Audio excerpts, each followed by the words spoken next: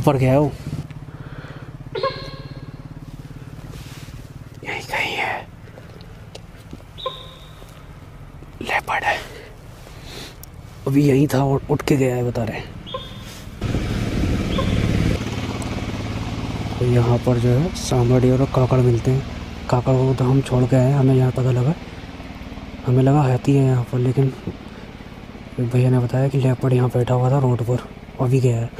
और जो कुछ देर पहले हम आए थे, जो फीसड हमारे आगे छोड़ के गया था, वो यहाँ घूम रहा होगा, उसके ऊपर हमला करा उसने।